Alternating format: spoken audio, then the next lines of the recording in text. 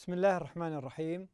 والصلاة والسلام على أشرف الأنبياء والمرسلين نبينا محمد وعلى آله وصحبه أجمعين. أهلا بكم أبنائي وبنات الطلاب في الجزء الأخير من درسنا لهذا اليوم درس أو الدرس الثامن والعشرين التحديات الاقتصادية والاجتماعية التي يواجهها أحسنتم العالم العربي والإسلامي.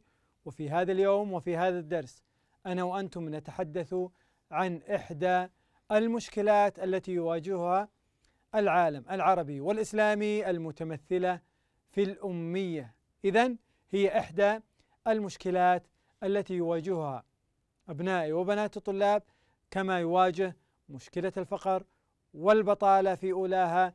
أيضا إحدى المشكلات التي يواجهها العالم العربي والإسلامي هي مشكلة الأمية. أبناء وبنات الطلاب إذا درسنا الدرس الثامن والعشرين أو الثامن والعشرون التحديات الاقتصادية والاجتماعية الأمية.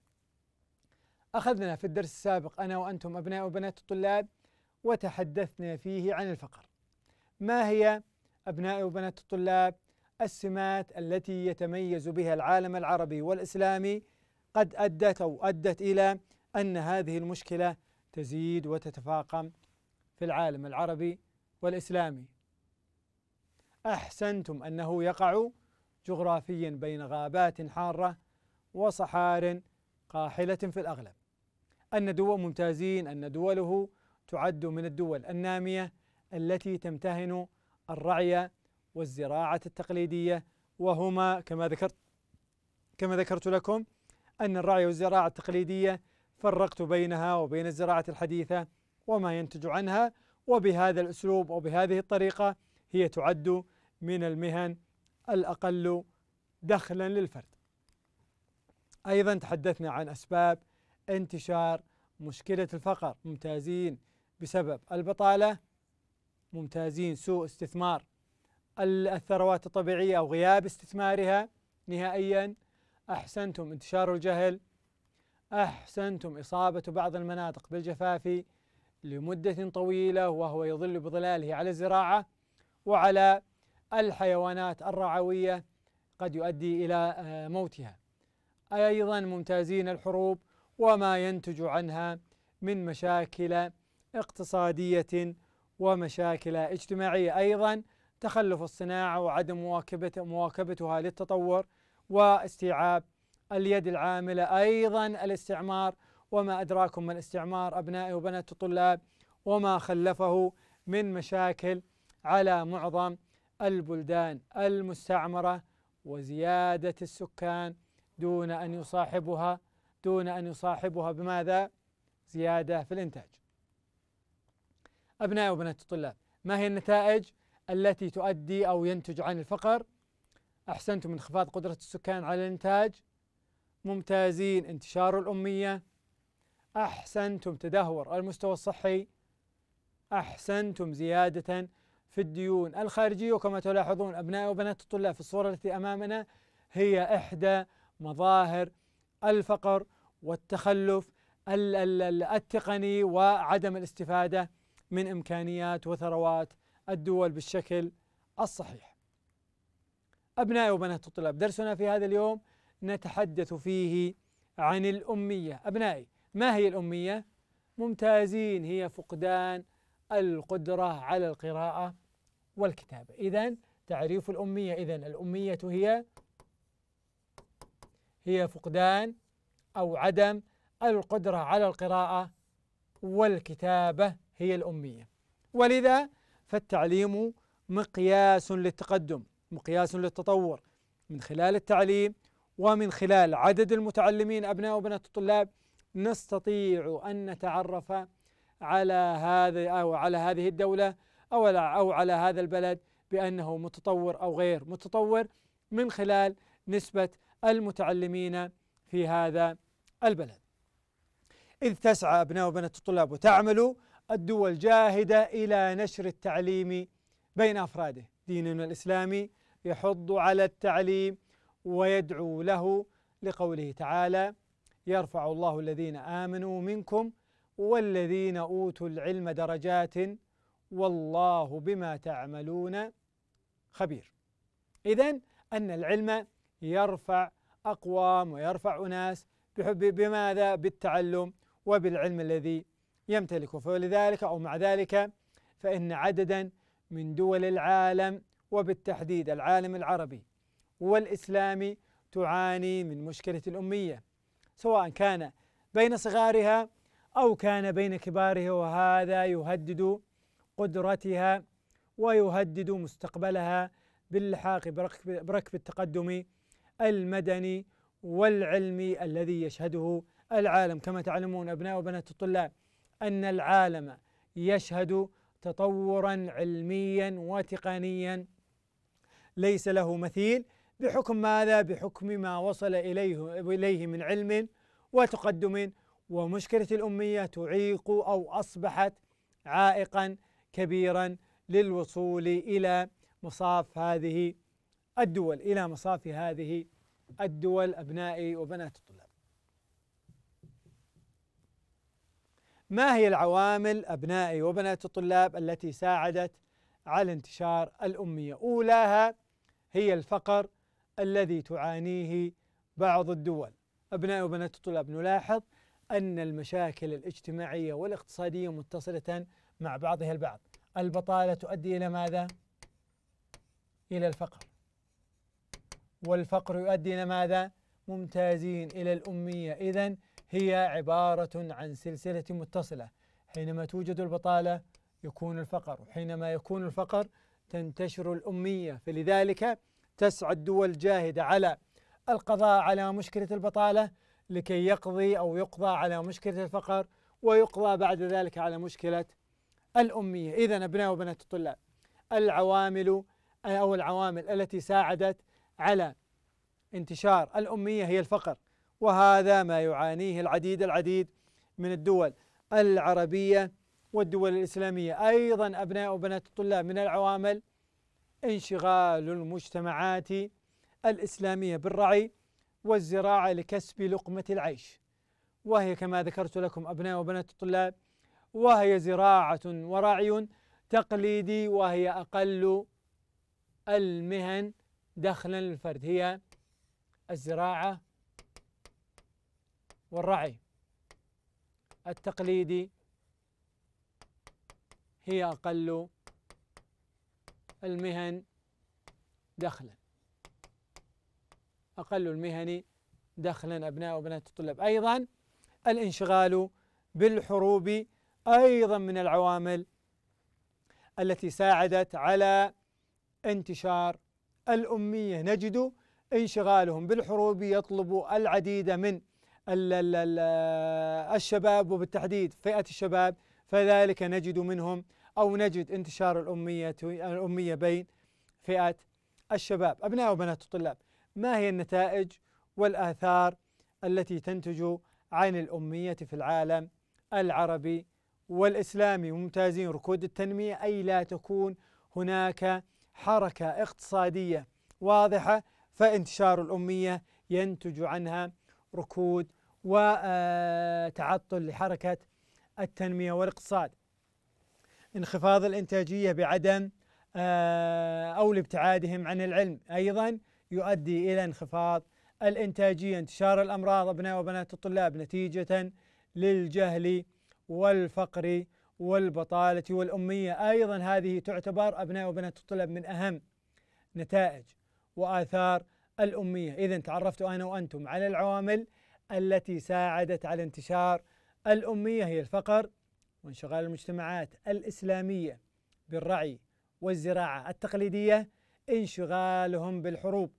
النتائج ركود التنمية انخفاض الإنتاجية انتشار الأمراض ونلاحظ أبناء وبنات الطلاب إحدى الأحياء السكنية الفقيرة وهي بالتحديد في آه، الجمهورية الأندونيسية. نلاحظ أبناء وبنات الطلاب نسبة الأمية في بعض الدول كفلسطين ونسبتها في آه، مقارنة بالدول المتقدمة. أبنائي هناك آه، فرق واضح بنسبة الأمية. نلاحظ أنه بين فلسطين والنرويج بين سيراليون وأسبانيا بين مالي والصين. أبنائي تقويم الدرس الثامن والعشرين. ما هي أبرز أنواع المشكلات التي يواجهها العالم العربي والإسلامي. ما هي؟ ذكرناها لكم هي ثلاثا من المشكلات. ما هي أبرز مشكلات العالم العربي والممتازين؟ هي البطالة. وماذا بعد؟ أحسنتم والفقر. وآخرها ما أخذناه قبل قليل. ممتازين هي الأمية. السؤال الثاني ما أهم الأسباب التي أو الأسباب التي ساعدت على انتشار البطالة في العالم العربي والإسلامي. هناك عدة أسباب ساعدت على انتشار البطالة في العالم. ممتازين. قلة الصناعة في العالم العربي والإسلامي. أحسنتم الزيادة السكانية الكبيرة في العالم العربي والإسلامي ويقابلها قلة في الإنتاج والاستثمار. أحسنتم التركيز على التعليم النظري دون الجانب المهني والفني. وأيضا ضعف امتلاك أو ضعف نصيب الفرد من امتلاك الأراضي الزراعية كلها من مسببات أو من المسببات أو من الأسباب التي ساعدت على انتشار البطالة في العالم العربي والإسلامي. السؤال الثالث اختاروا لي أبناء وبنات الطلاب الخيار الصحيح بين آه، الفقرتين ألف وباء. فقرة ألف من آثار الأمية ومن نتائج الأمية هل هي ارتفاع التنافسية أم ركود التنمية أم ما أحسنتم هي الركود الاقتصادي أو التنموي. من أسباب انتشار الفقر أحسنتم أبناء وبنات الطلاب هي انتشار. الأمية أحسنتم. وبارك الله فيكم وأنا وأنتم ننتقل إلى تقويم الوحدة السابعة. تقويم الوحدة السابعة أبنائي وبنات الطلاب. السؤال الأول عرفوا لي المفاهيم الآتية. العالم الإسلامي العالم العربي البطالة الدول الفقيرة. إذا أبناء وبنات الطلاب لدينا عدة مفاهيم أريدكم أن تعرفوها. العالم الإسلامي العالم العربي البطالة الدول الفقيرة. ممتازين. العالم الإسلامي ما هو؟ أحسنتم. هي الدول الأعضاء التي تأتي تحت مظلة ممتازين منظمة التعاون الإسلامي.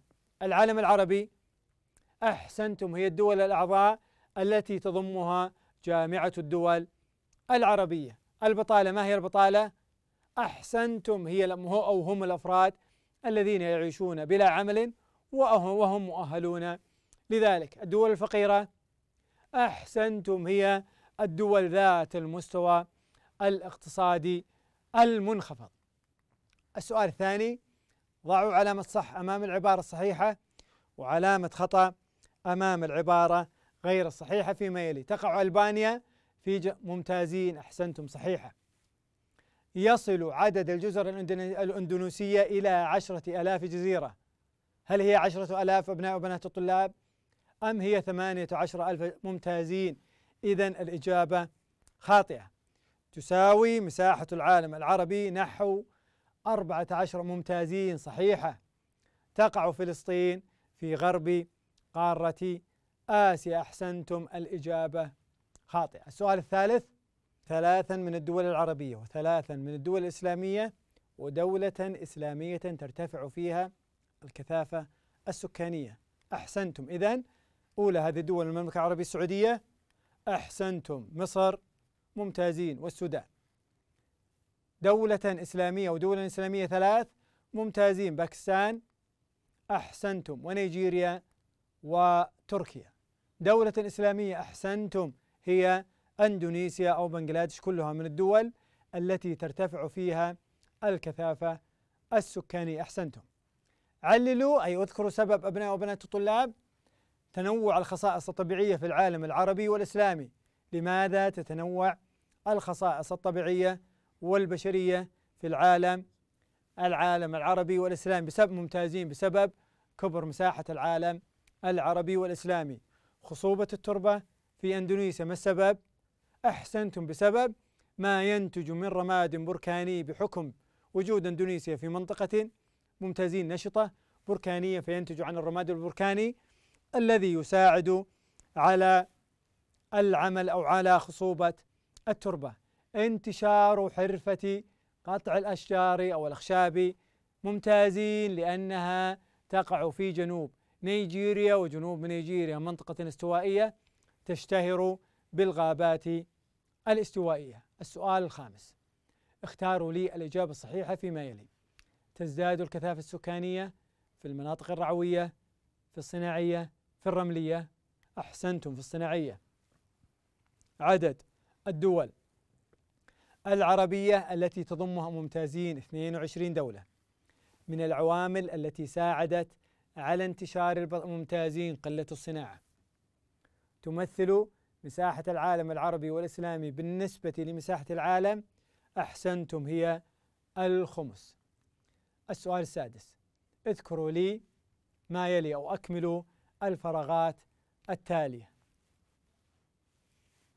من العوامل التي ساعدت على انتشار الفقر أحسنتم أبناء وبنات الطلاب انتشار البطالة أحسنتم وسوء استثمار الثروات الطبيعية. يتوزع أغلب سكان العالم العربي والإسلامي في قارتين ها أبناء وبنات الطلاب. هناك قارتين أو قارتان يتركز فيها سكان العالم العربي. أحسنتم هي آسيا وأفريقيا. ممتازين. تنقسم مظاهر السطح أبناء وبنات الطلاب في العالم العربي والإسلامي. إلى ماذا؟ ممتازين. إلى جبال وسهول وأيضا وديان وأنهار وغيرهم. ممتازين أحسنتم. من الخصائص السكانية التي تميز العالم العربي والإسلام؟ هناك خصائص تميز أبناء. ممتازين. عدد الذكور أكثر من عدد الإناث. أحسنتم. ماذا بعد؟ ممتازين. تأثروا التوزيع السكاني تبعا لعوامل طبيعية كالسطح وتأثيره على التوزيع السكاني وبشرية كانتشار الصناعة وغيرها. أبنائي وبنات الطلاب السؤال السابع. اربطوا لي ما في المجموعة ألف بما يناسبها في المجموعة باء بالاستعانة بالأرقام. رقم واحد أبناء وبنات الطلاب جبال الحجازي ما يناسبها من الموقع باء أو من المجموعة باء أحسنتم هي في غرب المملكة العربية السعودية في غرب شبه الجزيرة العربية. هضبة الأناضول ممتازين في تركيا. أحسنتم. السهولة الفيضية عادة السهولة الفيضية أين توجد؟ أحسنتم. على الأنهار ممتازين. على نهر النيل. الربع الخالي ممتازين. في جنوب شرق شبه الجزيرة العربية. أحسنتم. جبال هندوكوش أبناء وبنات الطلاب. هل هي ممتازين؟ إذا في وسط آسيا. السؤال الثامن. اختاروا لي الإجابة الصحيحة فيما يلي. تطل نيجيريا من الجنوب على ممتازين على خليج غينيا. يتوزع ممتازين آسيا وأفريقيا. تعد مركزا صناعيا وميناء بحريا لأندونيسيا. هل هي سورابايا أم كانو أم لاجوس أو لاغوس أم دروسو؟ ممتازين هي سورابايا هي الميناء البحري والمركز الصناعي لأندونيسيا. أبناء وبنات الطلاب مثلوا لي الجدول التالي بأعمدة بيانية. المغرب عدد سكانه أو سكانه 35 مليون و280 ألف آه، أوزبكستان 28 مليون المملكة العربية السعودية 32 مليون و552 و336 نسمة. نريد أن نمثل هذه الأعداد تمثيلا تقريبيا أبناء وبنات الطلاب على آه، بشكل بياني كما هو ممتازين. المملكة العربية السعودية بهذا الشكل تقريبا أبناء وبنات الطلاب أنها تزيد قليلا عن الثلاثين مليون.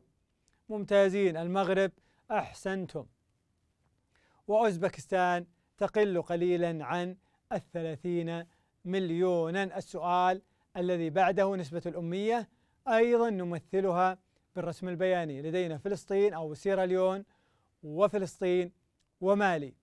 سيراليون ممتازين أو مالي هي الأكثر ثلاثا وثمانين بالمئة وسيراليون تسعا وسبعين بالمئة وفلسطين ثلاثة بالمئة هي نسبة الأمية لديها أيضا أبناء وبنات الطلاب لدينا الخارطة نريد أن نحدد التالي المحيط الأطلسي والمحيط الهندي والبحر المتوسط والبحر الأحمر ومن ثم باب المندب المضائق باب المندب وملقا وهرمز وجبل طارق ومن ثم نهر النيل والسهول الساحلية على البحر المتوسط وهضبة أفريقيا. ممتازين البحار هذا البحر المحيط الأطلسي والمحيط الهندي والبحر الأحمر ممتازين وهذا هو البحر المتوسط. المضائق أبناء وبنات الطلاب ممتازين. مضيق باب المندب. هنا أبناء وبنات الطلاب مضيق باب المندب بهذا المكان وبهذا الموقع. ومضيق ملقا ومضيق أبناء وبنات الطلاب ماذا؟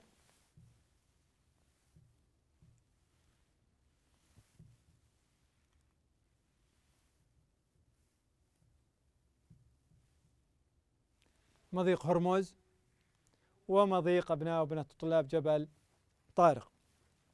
السهول الساحلية أو النهر. نهر النيل نلاحظ أبناء وبنات الطلاب تقريبيا. هذا هو موضع نهر النيل. السهول الساحلية للبحر المتوسط هي التي تحاذي البحر المتوسط. وأيضا أبناء وبنات الطلاب هضبة أفريقيا هي في هذا الموقع. وبذلك أبناء وبنات الطلاب ننهي درسنا لهذا اليوم. شاكرا ومقدرا لكم. تفاعلكم مع تمنياتي لكم بالتوفيق والنجاح.